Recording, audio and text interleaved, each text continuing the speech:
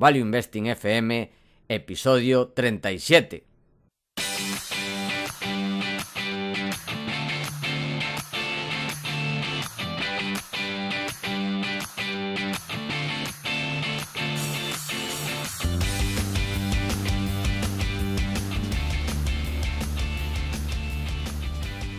Hola, soy Paco Lodeiro.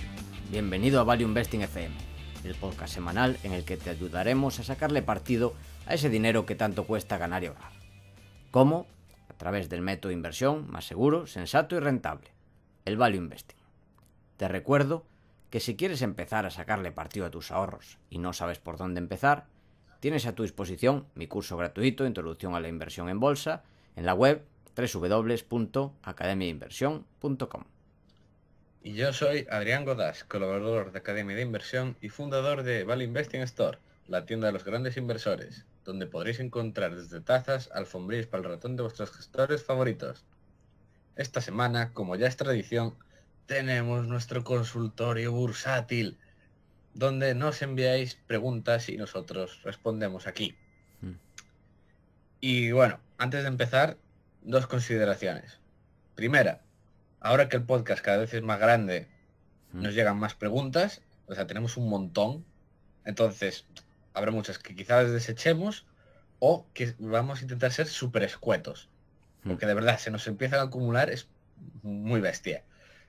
Y segunda consideración, por favor, abreviad las preguntas.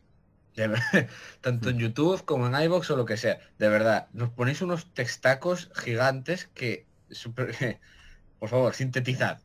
¿Vale?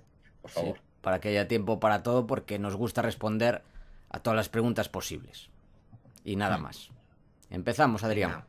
Empezamos con Gabelito, que nos pregunta si podríamos dar nuestra opinión sobre eToro. eToro, Vale, respuesta rápida.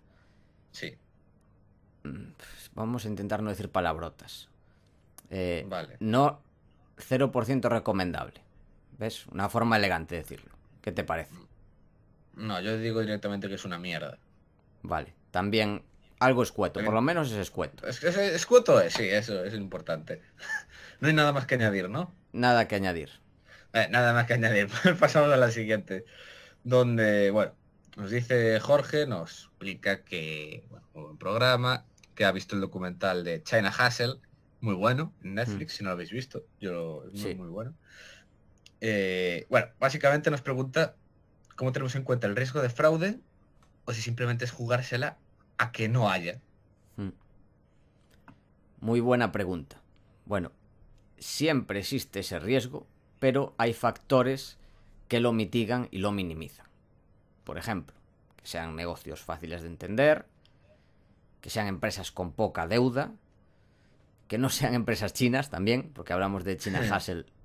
En general, eso no se suelen dar en todas las empresas chinas, pero en China el porcentaje es mucho más alto. Por ejemplo, si ves una empresa china a PER 2, pues, y con un, un montón de caja, posiblemente los beneficios sean falsos y la caja sea falsa. Sí, sí. Y bueno, que tener eh, management, como decimos siempre, con skin in the game y que sea también buen management, gente de fiar. Que bueno, es básicamente eso. Que te puede engañar alguna vez, por supuesto. Eh, todo el mundo se equivoca y los eh, estafadores, digamos, son cada vez más sofisticados. Y bueno, y saben imitar bien a la gente de fiar para y bueno, tenemos que tener eso en cuenta. Pero eso, si seguimos estas pautas, yo creo que puede ser. Podemos minimizar bastante que suceda eso y siempre también eh, diversificando la cartera. No sé si tienes algo más que añadir, Adrián. No, nada más. Es básicamente eso. Skin the game, buen management, con experiencia, que se vea que no haya. que la compañía históricamente no haya hecho cosas raras. Hmm. Y ya está, no, no tengo no. No invertir disminuir el en. riesgo. No invertir en minas, por ejemplo, ¿no? Sí, es otro consejo muy bueno para evitar fraudes, sí. sí. Sí. Que es otra película muy buena, si alguno la quiere ver, Gol, Hmm. que cuenta la estafa de Brea X, muy Hmm. buena también. Eh, siguiente pregunta de Albert Mendoza, que nos dice, ¿qué diferencia hay entre contratar un fondo o el ser accionista de Berkshire o algún que otro holding? Bueno, a ver, son cosas diferentes. Berkshire y los holdings son empresas, tú compras em- acciones de esa empresa, mientras que en un fondo hay una empresa que gestiona el fondo, pero tú no eres accionista de esa empresa, sino que tú metes capital en un fondo común y ese fondo común es lo que se invierte. Y bueno, diferencias hay bastantes. Desde el punto de vista fiscal, mm, los fondos tienen un tratamiento mejor, mientras que los holdings son tratados como acciones normales. Los fondos cobran comisión de gestión, mientras que los holdings, bueno, tienen, digamos, un sueldo que, bueno, es un sueldo como un equipo gestor normal. Eh, tienen, los fondos tienden a ser mucho más regulados, bueno, están mucho más regulados. Un holding, pues, puede concentrar más su cartera de inversiones. No sé si se te ocurre algo más, Adrián, porque diferencias hay muchas, son Sí, sí, no, sí. Pues no se A me ver. ocurren nada más a mayores. tienen similitudes, seguro que hay más eh, diferencias, pero bueno, esto es lo que se me ocurre en estos momentos. Y ahora Juan nos dice, bueno, si en resumen, ¿qué opináis respecto a diversificar inversión en fondos? Entiendo que es en plan tener una car- un poco de dinero cartera en unas acciones, así que nos gusten, y otro en acciones. ¿Qué opinamos? Digo, Hmm. es- en fondos. Sí, esto lo respondí, me hicieron esta pregunta en, en la charla que di en Finect, que os recomiendo verla, por cierto. No sé si lo has visto, Adrián.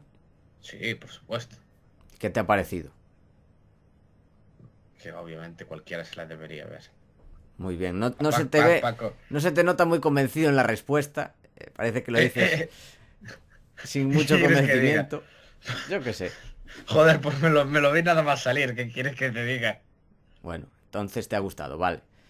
A ver, es un poco básico. que- todo lo que he dicho lo sabías de sobra, o sea que tampoco... Claro. Pero es que no hablaste de mineras, entonces tampoco puedo ponerle un 10. Vale.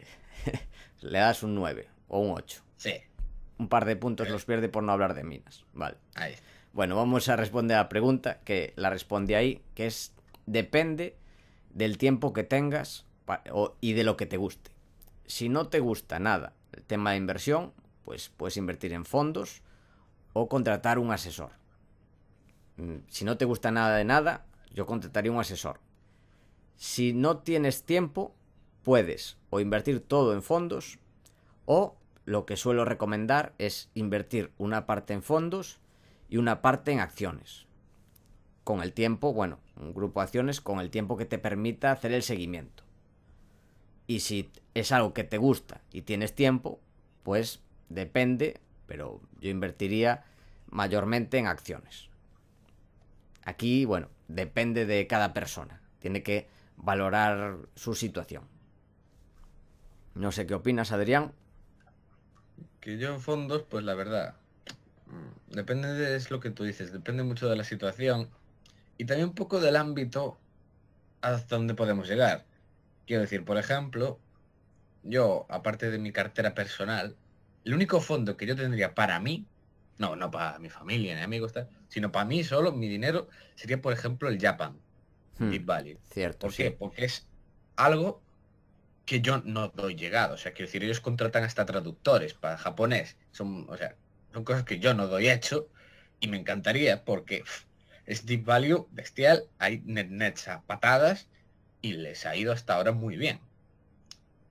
O sea, Sí, es o- algo que sí que, como, ¿cómo decirlo? Eh, delegar la parte, Sí. esa parte de la cartera a eso. Sí, también, por ejemplo, si hubiera algún fondo bueno, value en África, eh, igual podría estar interesado en invertir, por ejemplo. No conozco ninguno. Claro, ten- para invertir en un fondo también.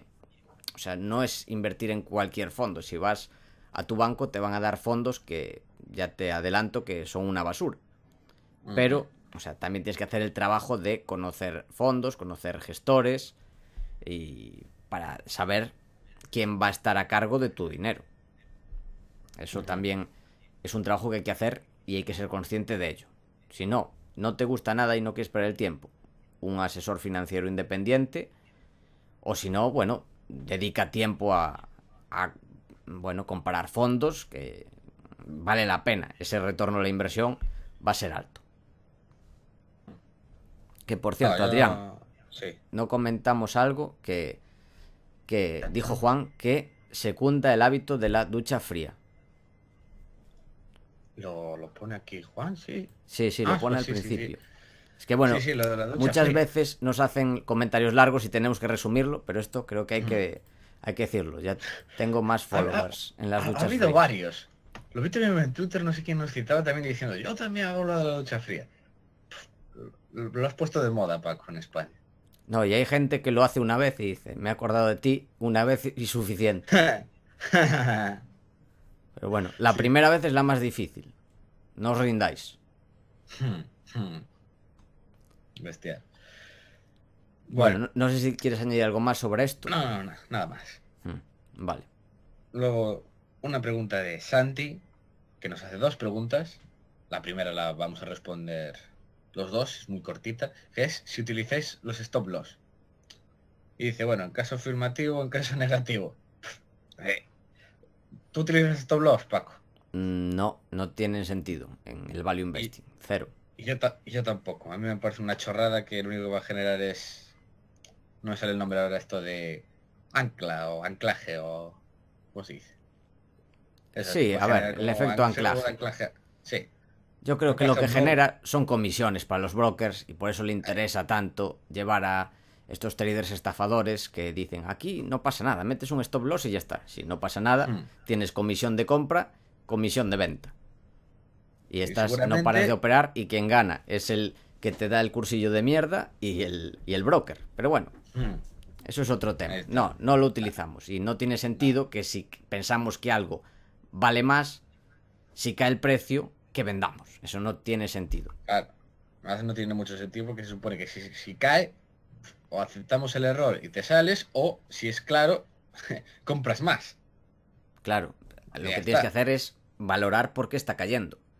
Si tu tesis de inversión ha estado equivocada o si mm, puede ser que sea Mr. Market, sea el mercado que haya caído o por algún problema de corto plazo o porque sí, porque cae todo. En ese caso sería una buena oportunidad para comprar más. Y nos pregunta también, a la hora de analizar balances, ¿qué consideración le dais al goodwill? al Goodwill o Fondo de Comercio, que es, es en. España.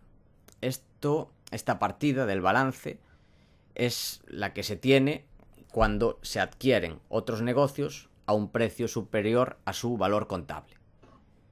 En este caso, mm, depende de, de cada compañía, porque claro, dices, ¿qué consideración? Es que no sé a qué te refieres con qué consideración. Mm, No sé, Adrián, si entiendes tú la pregunta, ¿qué consideración? Se, se referirá a- al calcular la rentabilidad. A ver, es una partida un poco rara, que sí que hay mucha Mm. gente que tiene dudas con ellas, de en plan, ¿qué es? ¿Qué hay dentro? Sí, bueno, es explicar, bueno, acabamos de explicar lo que Hay es. que decir, el goodwill no es básicamente que un ajuste contable, Sí, básicamente. exactamente. Aparece cuando la empresa hace adquisiciones por encima de valor en libros.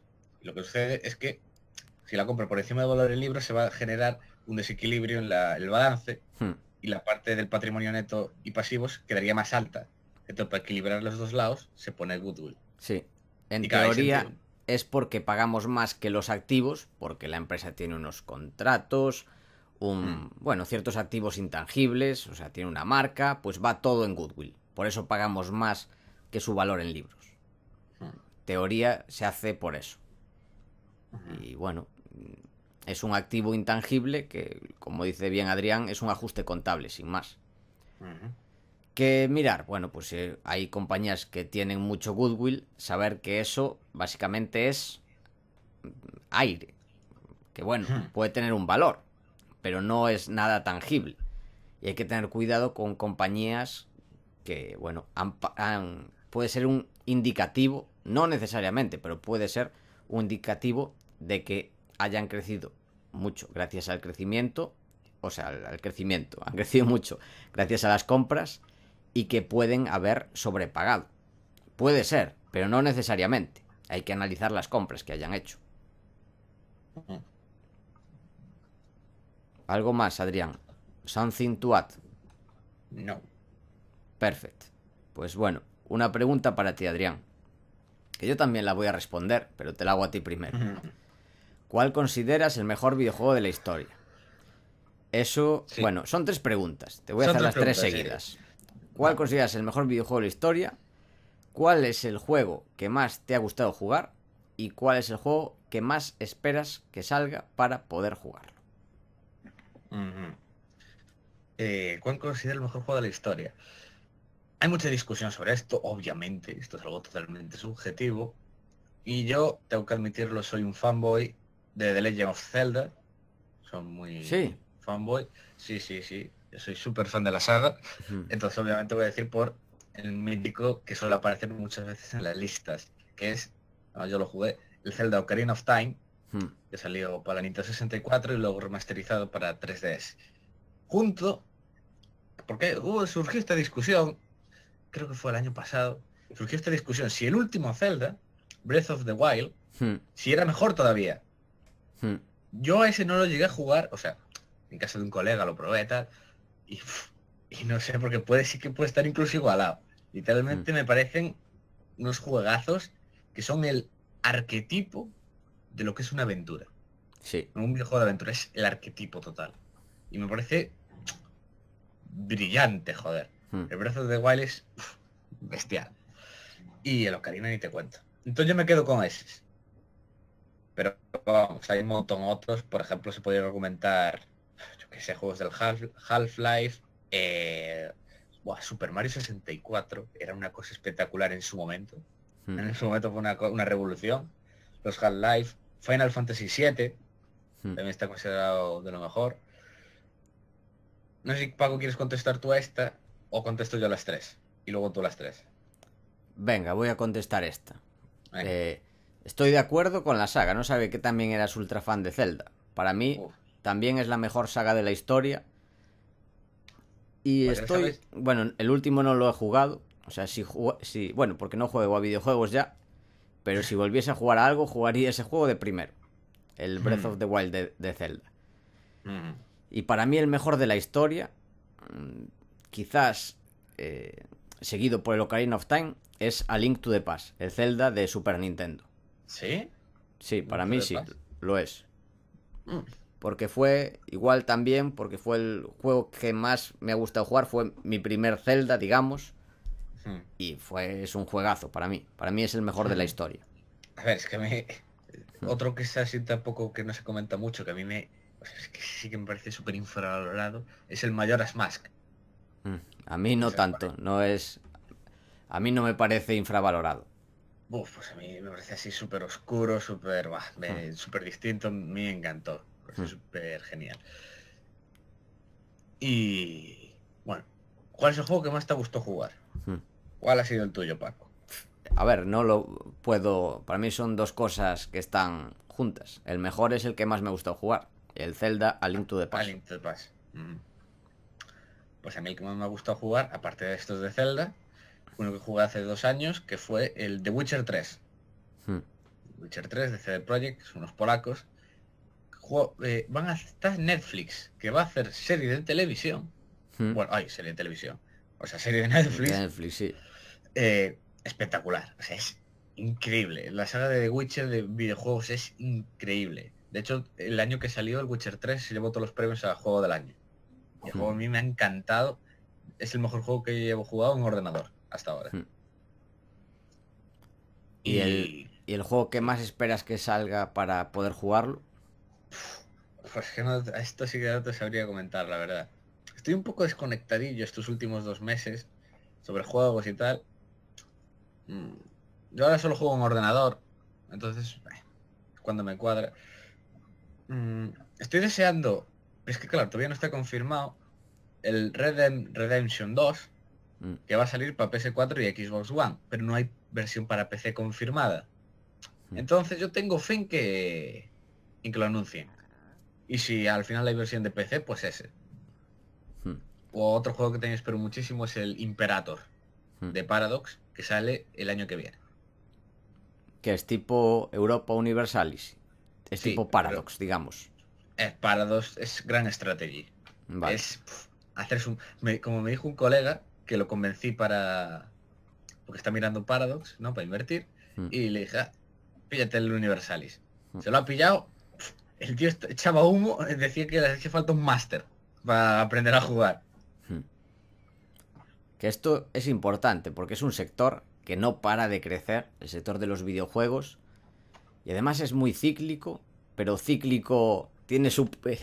Cada compañía tiene su propio ciclo, no, va- no viene Claro. el, el ciclo de los videojuegos, no. Son ciclos de compañía, dentro de cada compañía. O sea, es un sector Claro. aparte, pero interesantísimo. Quien de los que estéis escuchando y juguéis a videojuegos, tenéis que mirarlo.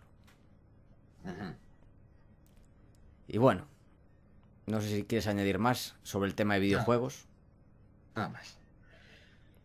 Ahora Anónimo nos dice, he leído últimamente que los brokers gratuitos están muy próximos de llegar a comercializarse en España. Algunos incluso pertenecen a- al grupo de Giro, como es el caso de, de Giro. No, no, era de Ciro o algo así. Claro, yo pensé que estaba mal. Pero no, es verdad. Ah, es- Lo es verdad. corregí, pero no lo. No lo había. O sea, lo había corregido mal. Pero sí es cierto. Pensé no que estaba mal. algo que se llama de Ciro. Hmm. Joder, pues pensé que era de coña. Sí, Eh, yo ¿qué pensé que estaba mal de- escrito, pero no, es cierto, es verdad. Algo había leído del tema. Yo también, bueno. Eh, ¿Qué opinión nos merecen? Hmm. ¿Qué opinión merece, Paco? Mm, A ver, pues que está bien. O sea, los brokers, pues lo ideal es pagar lo mínimo posible. No sé cuáles son las condiciones de, de Ciro. Bueno, estoy abriendo la página, por cierto. Aquí está, trading mundial gratuito en acciones, sin comisiones, coste cero. Pues la verdad es que no lo había mirado porque el pro- la pregunta era sobre... Yo pensé que era sobre de Giro, que es Claro. un, un broker que utilizo.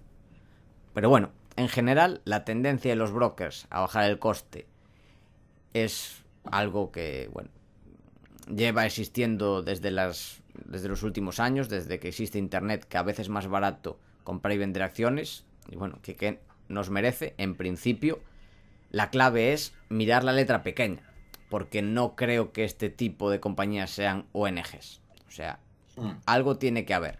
Mirar por qué es gratis, hay que analizarlo y ver si vale la pena pagar algo. O si igual, no sé, de- depende, hay que mirar cada compañía. Pero Mm. cuanto menos se pague en general, mucho mejor. Y a continuación, queríamos... No es una pregunta, Hmm. es un comentario que nos han dejado en YouTube, si no me equivoco, y que nos ha gustado tanto que lo hemos decidido poner aquí, Hmm. para leer, sencillamente.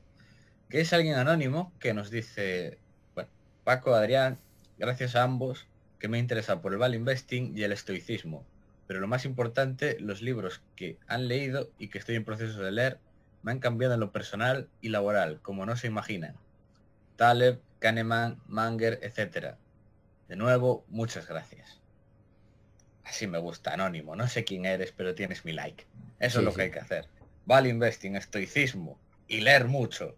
Leer a Taleb, que te explote la cabeza. Así Eso. me gusta. Aunque a Eloy no le guste. Aunque a Eloy no le guste. Ya lo conoceréis, Eloy. Sí, ¿Qué? Vendrá próximamente. sí. No sabemos qué, no sabemos qué mes exacto o semana, pero estará en nada aquí. Que nos vendrá a hacer un programa especial, como ya habíamos anunciado en el podcast de Pablo Bernal, sí. donde va a hablar sobre las GCS, Fannie Mae y Freddie Mac. Y bueno, Adrián, tres preguntas para ti, de minería. Vale.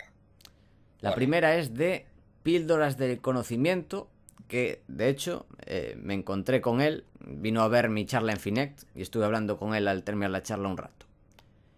Y la pregunta es, Adrián, de las mineras que sigues, para analizar el potencial de encontrar minerales, ¿usan imágenes hiperespectrales? Saludos. Sí, hijo. Sí, es las imágenes hiperespectrales es lo que usa Iker Jiménez en Cuarto Milenio para buscar espectros y fantasmas en las casas encantadas. Ahora en serio, suena así muy muy rimbombante. son métodos magnéticos. Las imágenes hiperespectrales he mirado, al parecer son métodos magnéticos. Y joder, es de lo más básico. Es lo que usan todas. Todas las mineras en general usan métodos electromagnéticos, porque bueno, no dejan de ser metales en su mayoría de casos. Tipo cobre, oro. Son metales, entonces son muy reaccionan mucho a temas eléctricos. Vale. O sea que sí. Sí, Cos- cosas de minas. sí. Bien. Otro para ti. Eh, bueno, preguntas para ti sobre materias primas y en concreto sobre fracking. Ujú. En primer lugar, ¿qué tendría que ocurrir para que consideraras invertir en una empresa de fracking? Bueno, te hago las tres. ¿Qué parámetros debemos mirar a la hora de estudiar una empresa de fracking? ¿Y cuál consideras que son las empresas principales dentro del sector? Vale. ¿Qué tendría que ocurrir para que invirtiese en, un fracker?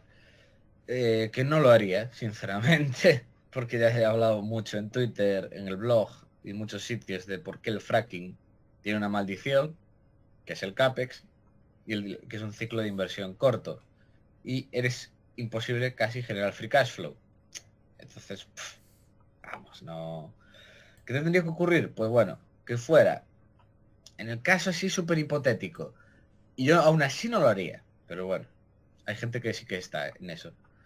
Eh, tenía que ser una empresa Pure Play Permian, o sea, el único sitio donde tuviera activos es Permian, que es la mejor zona de fracking de todas, que es en Texas, la parte oeste, en Permian. Eh, que fuera, tuviera el mínimo capex posible, o sea, que fuera capaz de generar algo de cash flow, aunque sea muy poco, que tuviera, bueno, costes bajos, en general lo suelen tener todas, costes muy bajos, eh, buen management con un track record espectacular. Bueno, sí, bueno, y luego ya lo típico, sin deuda, que estén invirtiendo mucho en exploración, cosas así. Y eso existe. Sí, hay alguna que sí, ¿eh? pero aún así yo no invertiría. Ya digo, es por el tema de fracking, de que de todo el capex que tienen. Mm, aún así Claro. alguna hay. Y tiene que cumplir todo eso y estar barata, claro. Tener un margen de seguridad enorme. Bueno, que eso es otro problema. Suelen estar también caras, claro. En plan, Mm. tú, si, si dices que tienes petróleo en Permian, ya, buf, ya vales el doble. Hmm. ¿Y qué parámetros debíamos mirar? Pues esos que te he dicho. Bueno, ¿Y, y cuáles son las principales del sector? Pues muy sencillo. Tienes Pioneer, que es Pure Play Permian también. Tienes EOG, EOG Resources. eh, no sé si es Pure, no sé si es solo fracking. Chesapeake. hmm, Tienes una que es probablemente de las pocas que me guste, que es eh, Centennial, porque Centennial la montó eh, Frank Papa, que fue uno de los primeros frackers. O sea, fue uno de los que impulsó la revolución toda, fue de los primeros, y fue el CEO de EOG, que la catapultó hasta ser el mayor productor de Estados Unidos de petróleo, junto a Pioneer. Y las pocas que me gustan, por eso, por el management. Mm, y aparte de esas, pues, bueno, es que claro, tienes de todo, todos los tamaños. Esas son las más grandes. vale. Y la siguiente pregunta es de Güento, que dice, por vuestra culpa estoy mirando minas, por culpa mía no, es culpa de Adrián. No, no me eches la culpa de algo que no tengo. Y pregunta, ¿qué os parecen Petra Diamond y New Gold? A ver, New Gold ya la Además, comenté en un saludos podcast. desde Escocia, por cierto. O sea, nos escuchan en Escocia. Somos cada vez más internacionales, ¿verdad? Sí, También nos escuchan bastante a partir de Latinoamérica, de países como Argentina. Muchas gracias a todos. eso es porque tú eres argentino. Es, es verdad, soy medio italiano, medio gallego, argentino. Claro. Me encantó. Ese, ese, ese- ese detalle fue genial. y a ver, New Gold, ya lo comenté en el podcast de error de inversión. Hmm. No tengo mucho más que añadir. Bueno, ahora sí. Porque han pasado... Porque han Ha, habido cosas, claro. novedades en New Gold. Sí, sí. Es que en New Gold lo que ha sucedido es que ahora la tesis cambia totalmente. Ha pasado lo que yo veía clarísimo. O sea, que venía diciendo es que la empresa está- estaba en la mierda, que la única solución era cambiar al management. Y es lo que ha sucedido. Pusieron a un nuevo CEO, que no me acuerdo el nombre, Roll, Roy Adams o algo así. Ha traído con- junto a él, ha traído algún otro miembro al management Y a ver, el tío se ve muy capaz, la verdad. Ha trabajado en alguna mina subterránea en Canadá, creo que era en una que acabó opada por Álamos. El tío se ve, parece que sabe. Y su primera medida ya fue reducir deuda. Lo primero que dijo. Y ya ha vendido una mina, que es Mesquite, que es la que tenía en Estados Unidos, California. Y ya la ha vendido por creo que casi 200 millones y a reducir deuda. Y luego el tema es optimizar Rainy River. Y luego ya supongo que dentro en el futuro ponerse con Blackwater.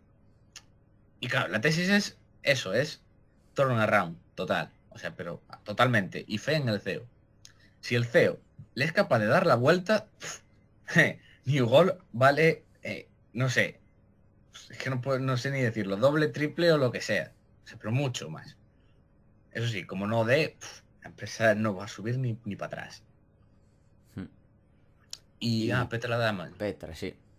Petra Diamond es una posición de Cobas, que no se suele comentar, es de estas pequeñas que tiene. Eh, ha caído también bastante. Y es uno de los productores principales de diamantes a nivel mundial. Creo que es el... el quinto, creo. Es el quinto o sexto. A ver, pero yo yo vi donde tenía toda la producción y ya pasé. O sea, tiene todo en Sudáfrica y en Tanzania. Y literalmente tiene el típico rollo de que al parecer el gobierno de Tanzania le incautó uno de los envíos. O sea, el gobierno le, tiene retenido no sé cuántos diamantes eh, y no se los quiere devolver. O, una historia así era. O sea, pero súper banana, ¿eh? O sea, banana country total. Y nada, o sea, yo, rollos esos políticos en el sur, paso, paso, paso.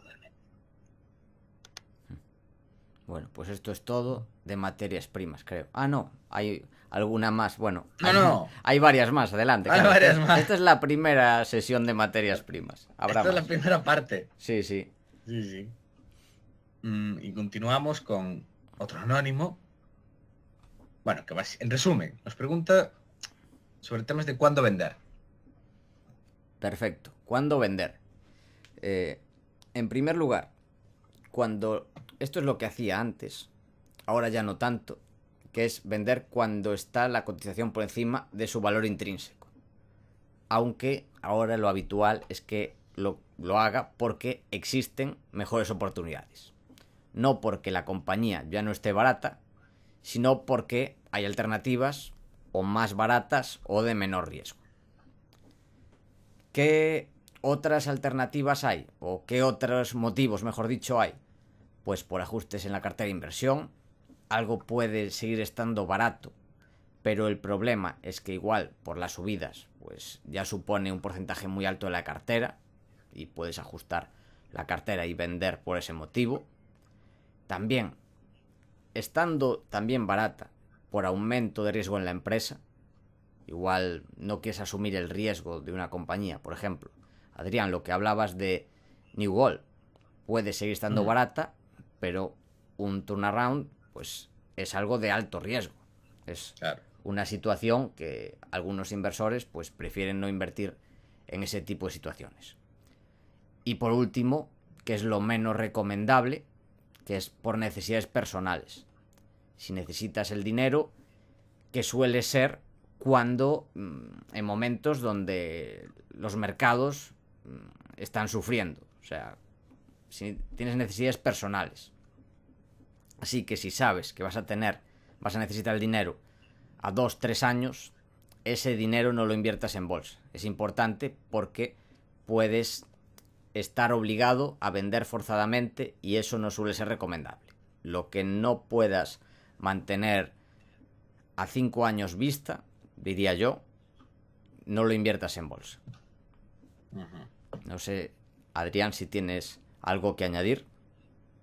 Totalmente de acuerdo. Bueno, pues seguimos con nuevas preguntas sobre materias primas. Esta vez, uranio. Que preguntan por Yellowcake. Bueno, tenemos dos preguntas de uranio. Eh, primero, Yellowcake, que la tiene Advalor. Si podrías hacer una pequeña pincelada con respecto a esta compañía para entenderla mejor. Que dice que es, bueno, es un anónimo que dice que de las de uranio es la que más le cuesta entender. Bueno, es pues que esta sea la que más te cuesta entender es muy dramático. Porque, a ver, Yellow Cake es tan sencillo como es comprar uranio físico a los kazajos y almacenarlo en un almacén de Cameco en Canadá. Mm. Ya está. Eso es toda la empresa. Punto. Y han comprado, vamos, una cantidad que es bestial, creo que es, es un cuarto de la producción anual de Kazajistán, o sea, una animalada. Y tienen opción de seguir comprando cada año. O sea, tienen varias opciones ahí. Y ya está. O sea, es eso, acumulan uranio, se ocupan de gestionarlo, comprar, vender, tienen las opciones y cobran un fee. Cobran fees anuales y ya está. Y lo que va a suceder es lo mismo que Uranium Participation. La cotización va a ser el NAV, o sea, el de los inventarios, Mm. al spot del uranio. Y ya está. Con un descuento o con un poco de prima. Y Perfecto. va a valer eso. Vale. O sea, algo muy simple. Sí. Y la siguiente pregunta, este es de eh, 005, que te pregunta sobre Cameco, ya que lo nombras. Cameco, pues Cameco es la mayor minera de uranio del mundo. Bueno, no, la segunda, No, sí. después de Kazatomprom, que es la Mm. kazaja nacional. Eh, creo que tiene una cuota de mercado del 20% aproximadamente. Tiene dos minas que son espectaculares, MacArthur River, Cigar Lake. Son las dos más grandes del mundo, de hecho creo. Y tiene activos, bueno, es espectaculares. ¿Qué pasa? A ver, es la más grande. mm, No va a poner, no está explorando nuevas zonas. No tiene tanto upside. Yo prefiero las que son mucho más pequeñas. A ver, hay que pensar que Cameco, a pesar de caer, es bastante grande. O sea, creo que capitalizan y son 4 billion o algo así. O sea, es aún de cierto tamaño. El resto, no, el resto ya son enanas. Entonces, mm, a mí no me convence. O sea, yo para tener uranio yo no la tendría. A ver, digamos que Cameco es invertible para quien gestione grandes fondos de inversión, pero los pequeños inversores tenemos ese beneficio, esa ventaja, que podemos Exacto. invertir en empresas más pequeñas. Y Daniel nos pregunta aquí por una empresa súper bonita, Small Cap española, que es, ¿qué opináis de lingotes especiales? Que fue, como me comentaste antes, tu primera inversión, ¿no? Sí. Y me hice un más 40 en un par de meses, sin tener casi ni puta idea. Fue genial. ¿Por qué? Y la tesis, esto no es coña lo que estoy contando, fue mi primera acción sencillamente porque en una revista de bolsa ponía que era el valor menos seguido del mercado continuo. Y dije, ah, no la sigue nadie, tiene que ser bueno. Los analistas son idiotas, esto tiene que ser bueno. Y ya está. Esa era toda mi tesis. Y tenía razón. Yo no sé si está barata o cara, la verdad es que no la sigo mucho. Podemos decir que es un negocio de, sobre todo, de frenos, de, de coches. Sí. Tienen la clientela bastante diversificada. Es una parte crucial para los para los clientes. Que funcione el- los frenos es bastante importante para Dicen que sí, ¿no? un OEM y o sea para un fabricante de coches para Volkswagen para bueno Fiat para todos estos. Es importante que funcionen los frenos. Tiene costes de cambio bastante altos la competencia y está bien gestionada la compañía. ¿cuál es el problema? que es bastante cíclica. El bueno el sector de los coches pues es muy cíclico. Se está expandiendo por India. No sé qué tal le irá. A mí India es un país que en general me parece muy complicado. Aunque India. bueno, India sí. India tiene potencial donde está mirando mucha gente. Hmm. Es complicado, es como Brasil, que tiene gran potencial, lo que pasa es que uf, hay Bueno, muchas minas ahí. Uf, Brasil no. eh, Brasil sí que... a mí sí que no me mola. Sí, a ver, no llega al nivel de Brasil, de... Hmm, pero es tiene sus particularidades India. Sí. sí, sí. Además de ser muchos países en uno, Hmm, hmm. que no es lo mismo Bueno, y de tener un cuarto de país tomado por paramilitares. Maoístas, hinduistas, no sé qué. No sé si te suena. Pues no me suena. Pues es un rollo bestial. O sea que, sí, sí, no es coña. Al parecer un cuarto del país está tomado por paramilitares desde hace, desde hace 20 años o una cosa así. Uf, tengo mucho Pues que aprender de India, ese es otro tema, que para No, mí no, también... este- No, no, es que si te puedes aprender, bueno, descubres unas cosas más turbias que... De hecho, no, de hecho creo que el nombre de Bombay, sabes que anduvieron cambiando el nombre Bombay, Mumbai, Mumbai, sí. pues creo que era por rollo este, en plan de los radicales hinduistas. Sí.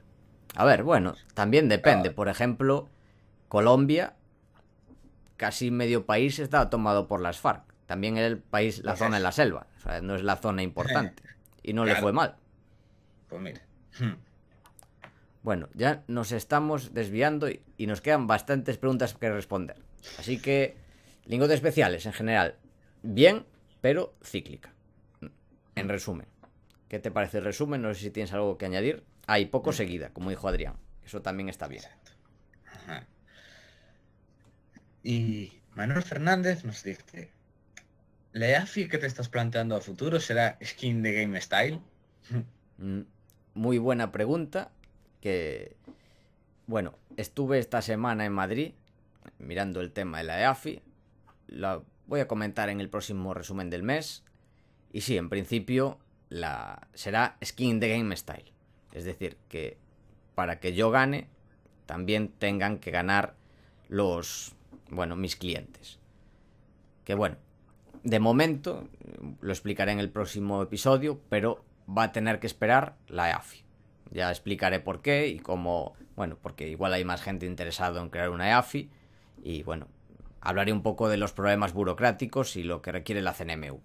Pero sí, cuando salga, en el futuro, que no sé cuándo será, sí que será Skin in the Game Style, como dice Manuel. Y bueno, la siguiente pregunta, Adrián, para ti, que es de Sandstorm Gold, que dice eh, que comentamos que Sandstorm Gold no ha variado cotización a pesar de ser esa inversión tan buena en la mina turca, pero que buscando los ratios de Sand ve que tiene un PER bastante alto, que le sale en el torno a 180 veces. Y pregunta si no es un poco elevado como para entrar en Sand, un PER de 180. Hmm. ¿Sabes lo que te digo? Muerta al per. Ya está. Buena respuesta. No tengo nada más que añadir. Y ahora ya en serio, las mineras, el per en general no tiene mucho sentido. Hmm. Porque va, por varios temas contables al final el beneficio da bastante igual. Lo que importa es mirar el cash flow. Hmm. El PER, el PER, salvo empresas muy grandes, mineras grandes, asentadas, que sí que pueden generar algo de beneficio más estable, el resto no tiene sentido. O sea, no tiene sentido ninguno. Y además añadir que en el caso de Sandstorm, Hot Madden aún no está produciendo. Ya, no está. Está el primer oro, creo que pensado para finales de 2020, principios de 2021. Por eso. O sea que hay que mirar. O sea, en la minería las cuentas actuales sirven de poco. Lo que hay que mirar son los proyectos. Bueno, yo es... es- la, la minería hay, primero, que evitarla si estás empezando. O si no, mirar muy bien cada compañía, porque cada compañía es un mundo, e invertir en ella por los números, por los números pasados, pues no tiene sentido. No, la verdad que no. Y ahora otra pregunta, bueno, son varias, que son de Alberto Barea, que nos dice, ¿cuál o cuáles han sido los mayores drawdowns de vuestras carteras? Para el que no lo sepa, drawdown, Mm. básicamente, la mayor caída en un día que has tenido. Bueno, caída en un día o caída Ah, un- de- desde máximos, más bien. ¿Sí? Desde Sí, máximos sí. también es, vale. Sí, drawdown es, por ejemplo, si llegas a 1000, pues si caes a 700, pues es un drawdown de del 30%. Creo Ujú, yo, ¿eh? Vale, va. Vale, vale, yo pensé que era solo en un día, vale, vale. Y Y bueno, luego también pregunta más, añadiendo cosas, de cómo efectuarías la elección entre una gran cantidad de empresas que se pondrían a tiro o, bueno, cómo, sí, cómo lo elegirías. Son aquí varias preguntas. No sé si cómo quieres Mm. Sí. contestarlas, Paco. sí, a ver, mayor drawdown, yo no tengo ni idea. O sea, no, no hago ese seguimiento de, de mi cartera hago el seguimiento de, de las empresas que la conforman y su TIR, pero a ese nivel no, pues la verdad es que no lo sé. Tú lo sabes, Adrián. ¿El qué? ¿El Drawdown? El No drawdown. tengo ni idea. No tengo ni idea. Pues. Pues nada, es- no podemos responder. Dramático. Claro, a ver, drawdown, eso. Para, eso lo mide la gente en los fondos, que invierte en fondos. Y el problema es que hay gente que no puede soportar la volatilidad. Que si ve que su cartera en general está cayendo un 40%, pues le da un ataque al corazón. básicamente. Pero bueno, yo como estoy tranquilo con las empresas en las que invierto, pues no es algo en lo que me fije. Yo miro el potencial a largo plazo, que tenga empresas de calidad y bueno, básicamente eso. Eso con respecto al drawdown, que nos disculpamos por no saber responder. Hay elección entre empresas, pues básicamente potencial y riesgo. ¿Qué tengo en mis mayores posiciones? Pues las que tienen mayor potencial y menor riesgo. Y por abajo, pues empresas que también pueden tener buen potencial pero mayor riesgo, o empresas que tienen también bajo riesgo pero menor potencial. Así, básicamente ese es el resumen. No sé si quieres añadir algo, Adrián. No. Vale. Esta es otra pregunta de para ti, Adrián, que nos comparte una idea, Juan Ignacio, con el que he tenido el placer de hablar esta semana y le mando un abrazo, que te pregunta por la compañía, una compañía chilena que es Sociedad Química Minera, dedicada al litio, fertilizantes, yodo y sales aplicadas en las placas solares. No sé Ajá. si las si la conoces, le has echado un vistazo. Sí, bueno, esta la conoce mucha gente por varios motivos. Eh, básicamente, esta es, es, es el mayor productor mundial, o segundo creo, de litio. ¿vale? Mm. Básicamente tiene un montón de minas en Chile, que es uno de los mejores sitios de litio que hay, porque hay algo que se llama el Triángulo del Litio, que es sur de Bolivia, Hmm. Chile, Argentina, y en ese triángulo están dos tercios del litio mundial. Y luego hay, bueno, pues por ahí, en Australia, en sitios así. Y lo que sucede es que si tú ves la gráfica, verás cómo llevaba plana un montón de años y de repente en 2016, en dos años, ¡pum!, cuadruplicó. Y básicamente fue por la subida del litio. A ver, mm, la presa parece bastante interesante, pero el problema que yo tengo es el tema del litio, que me parece que es la típica baja mental que se hizo la gente con el tema del coche eléctrico. Literalmente, todo lo que es baterías, coche eléctrico, llevamos dos años que eso está volando, o sea, pero volando. Litio, cobalto, vanadio, todo. O sea, todo lo que se pueda Incluso ahora la gente, o sea, para dar, cual- o sea, pero chorradas como el níquel, o sea que se usa solo un 6% del níquel mundial va, va para baterías, pero aún así también moló la idea. O sea, Hmm. es la idea más hot que hay en materias primas ahora mismo. Y el caso de esto, sociedad química, pues igual, pasó esto. Hmm. Hombre, no sé tampoco qué porcentaje depende del litio y qué de otros, otras cosas, como dices, de los fertilizantes, yodo, no lo sé. Pero litio, pues, no, no soy muy...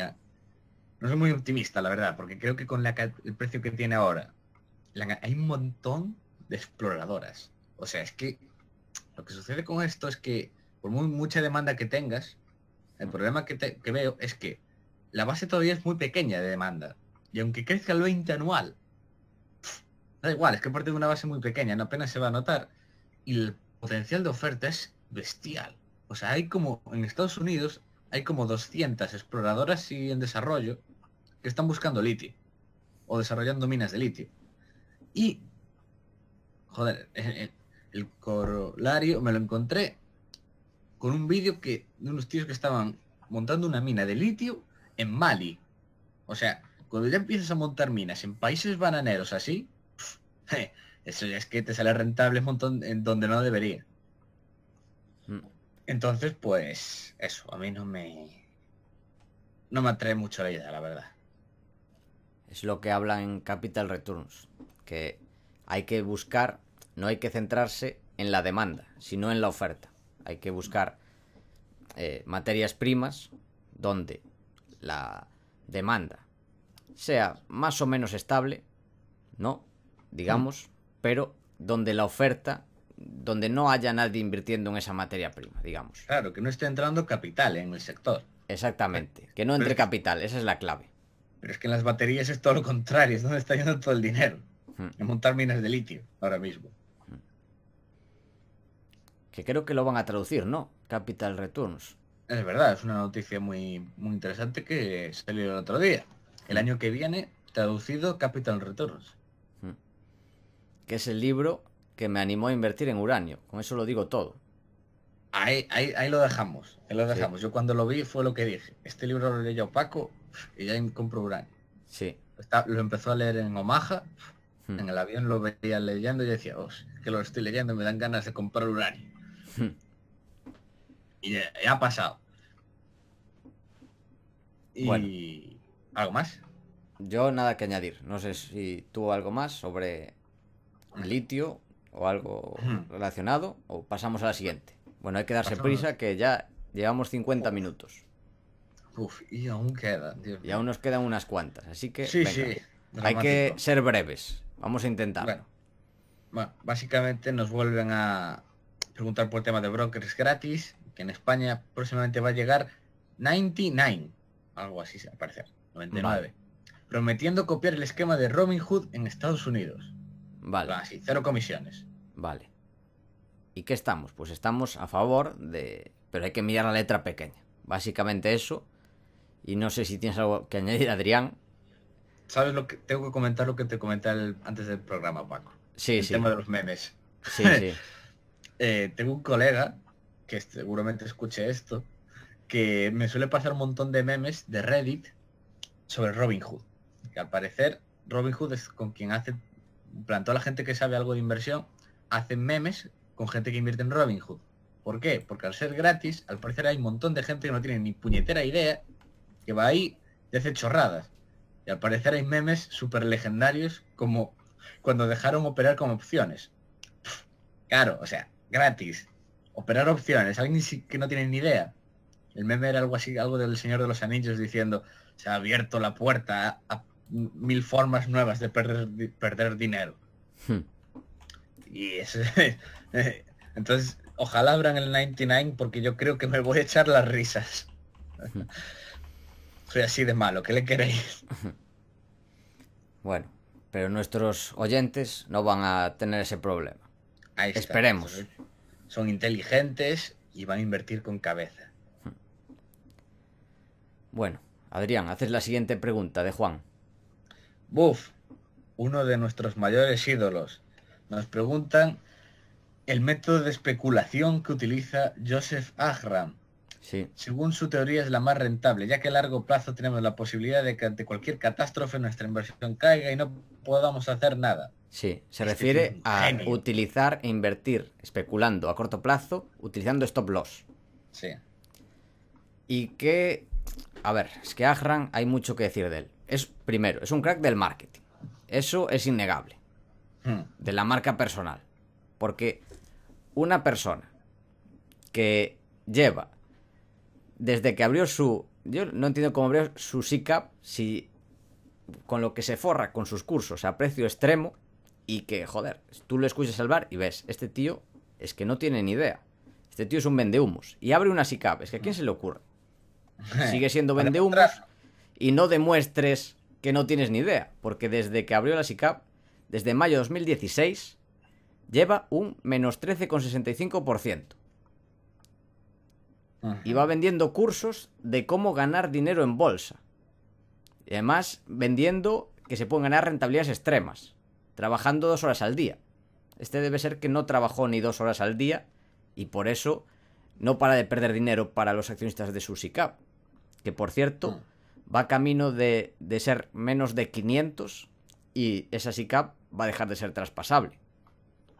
Así que, mucho cuidado y esto ya no lo decimos por la gente que nos escucha, que ya sabrá de sobra lo que hay, pero advertir a vuestros amigos, familiares conocidos de lo que es Joseph Hafran, que es, en fin, desde el punto de vista de marketing, un crack, pero desde el punto de vista de la bolsa y las finanzas, una vergüenza. No sé si quieres añadir algo más, pero bueno, hay que, Sí que hay que ir al grano. Quiero añadir que si cualquiera quiere hacer un meme, yo vendo ve- en Value Store tazas de Agram, donde podéis ver su foto y donde pone menos 13% Where is the limit? Por si os interesa. Where is the limit? Menos 13, menos 30, menos Sí. 110. Hasta que pierda todo el dinero de sus inversores no va a parar. No hay límite para Agram. Y, y como será apalancado, pues será menos, menos 120%. Sí. Where is the limit? Y a continuación, Juan Lemun nos pregunta, básicamente, preguntaba Paco, ¿de dónde obtienes la información de las empresas?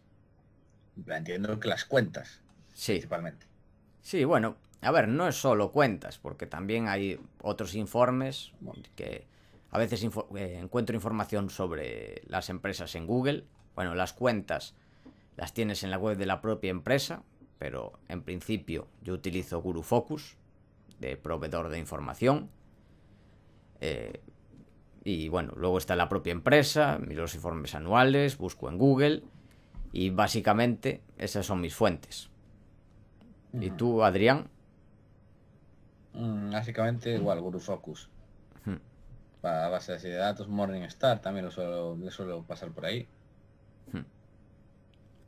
Siguiente pregunta, ya la leo yo, que es de Martín Rodríguez, que pregunta que qué tal funciona el broker de ING y si es muy engorroso en el futuro si quiero traspasar mi cartera a Interactive Brokers. Bueno, ING, comparado con los otros ban- grandes bancos en España, digamos que es el más aceptable de todos, pero mm, bueno, se re- yo recomendaría a la gente que, que le gusta tener un banco, ir al banco y, y prefiere pagar más por ello. Yo no, yo en principio empecé con ING, pero no lo recomiendo. No lo recomiendo porque hay alternativas mejores.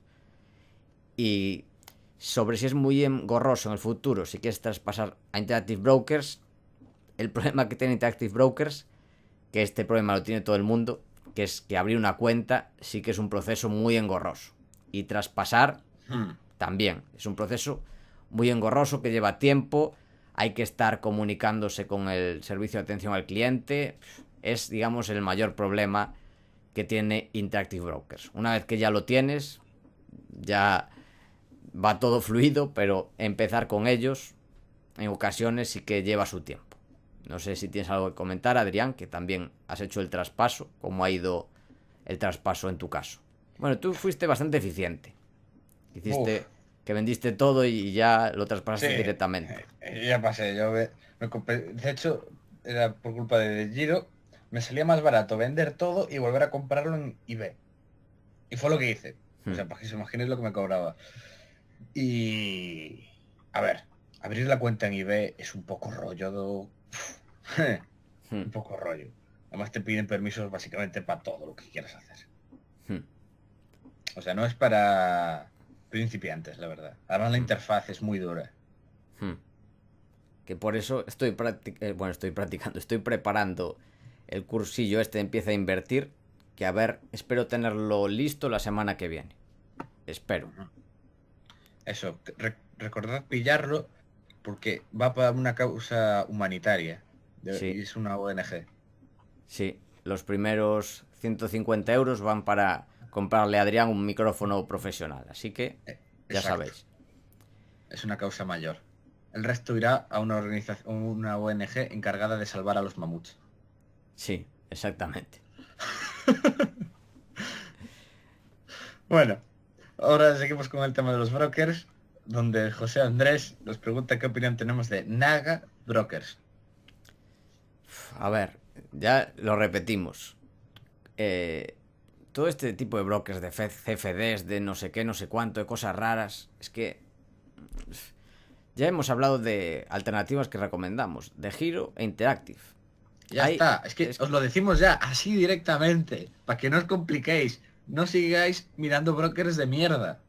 Sí, únicamente si te gusta tener una sucursal, bueno, pues tienes ING, te va a cobrar más. O si lo quieres tener en España, pues tienes alguna opción como ClickTrade, pero es que este tipo de, de basurilla que está en, en Chipre y que te va a hacer perder dinero, es que no, no,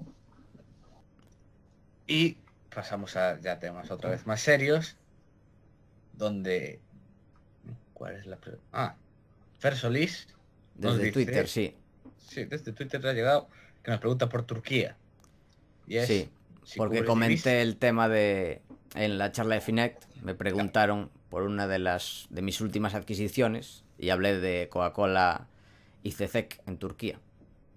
Mm.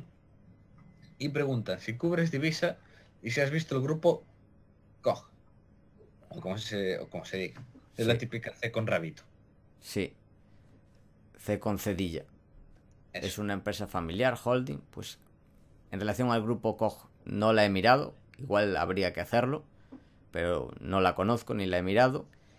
Y si cubro divisa, no la he cubierto porque, bueno, es una inversión a largo plazo, no me preocupa la volatilidad a corto plazo y además Coca-Cola, eh, bueno, no, es, no está solo en Turquía, Coca-Cola y CECEC, está en otros países, Turquía representa aproximadamente una quinta parte de la población y a día de hoy la mitad de los, de los ingresos.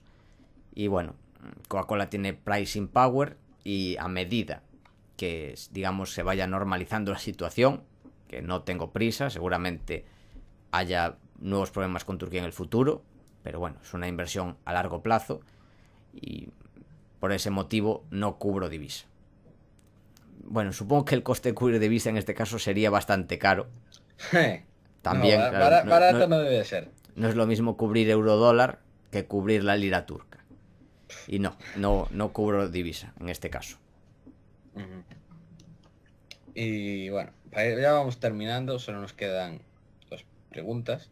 Hmm, Que bueno, la primera es de Germán Esferco, hmm. que nos pregunta, bueno, sobre De Giro, si lo recomendamos. Ya hemos dicho que sí. O sea, Mm. luego, luego hay Sí. que reiterar. Ya lo hemos dejado muy claro. De Giro Interactive, por favor, no más brokers de mierda. Por Mm. favor.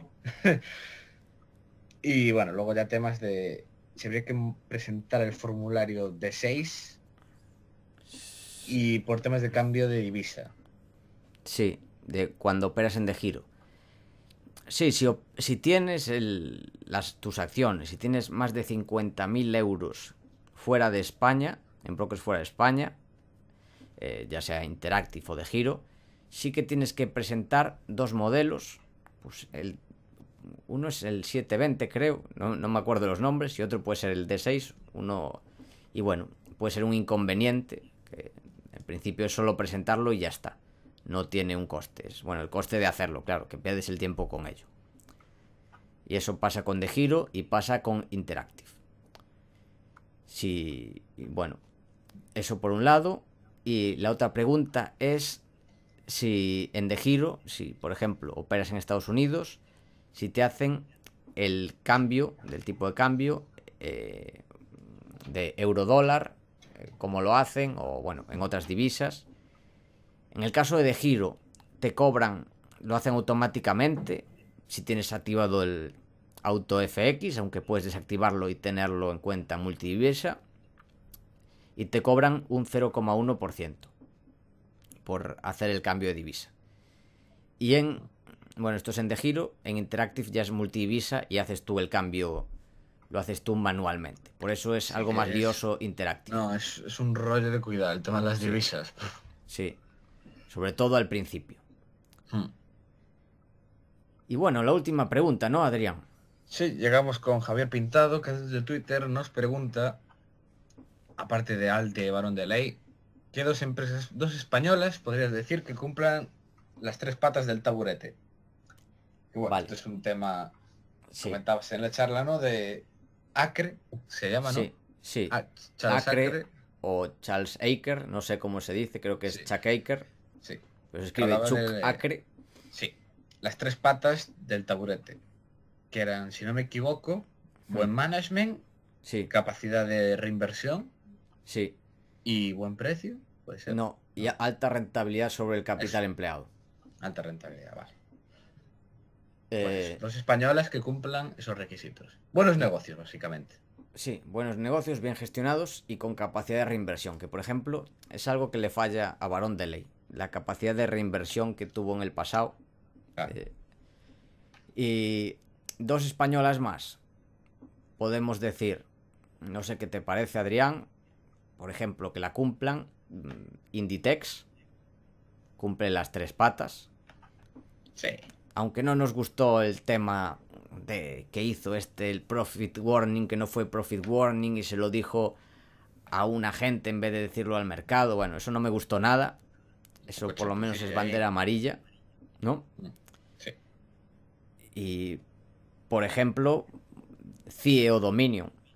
Ambas, pues, bien gestionadas, alta rentabilidad sobre el capital empleado y con capacidad de reinversión. No sé si se te ocurre alguna más en España que cumpla No, estos es- tres requisitos. No, a ver, aquí en España algunas hay.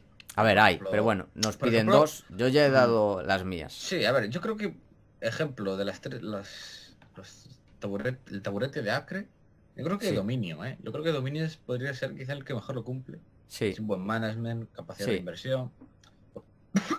Perdón. Porque, por ejemplo, en el caso de Altia, tendría el problema de que, bueno, no quiere comprar por hacer adquisiciones por menos de per 5. Entonces, te limitas un poco a, a, a comprar y a reinvertir. Hmm, Entonces yo me quedaría con dominio. hmm. sí, pues CIE, Dominion, Altia. A ver, seguro que hay más que nos estamos dejando, Inditex, pero bueno. Hay seguro que bastantes más. Pero bueno, Mm. ahí tenemos algunos ejemplos de taburetes de tres patas de, de Chuck Aker. Ahí está. Y bueno, hemos bueno. terminado. Esto cada vez se extiende más, ¿eh, Adrián? Sí, sí, sí. Esto Así que- es un no parar. Sí, sí. Por favor, os pedimos brevedad en las cuestiones y no nos preguntéis más por brokers, por favor, que ya, ya sabéis nuestra opinión. A no ser que sean preguntas muy específicas, pero en general, ¿qué opinión tienes de no sé qué trading, no sé qué forex, no sé qué tal? No, basura, ya lo sabes. Si patrocina también un equipo, basura. Ahí está. Brokers todos de una mierda. fin. ¿Algo que añadir, Adrián? No cintuad. Perfecto. Pues, como siempre, ya lo sabes, esperamos que te haya gustado el programa y queremos darte las gracias por estar ahí, por llegar al final del programa, que ya ha durado más de una hora, y también te agradeceríamos mucho que nos dieras las 5 estrellas en iTunes, que nos dieras tu me gusta en iBox, que nos dieras tu like en YouTube, ya que ayudarás a que este podcast siga existiendo y siga creciendo. Recordad que podéis comprar productos de los grandes inversores en Val Investing Store. Desde aquí, Paco y yo nos despedimos. Que el valor te acompañe.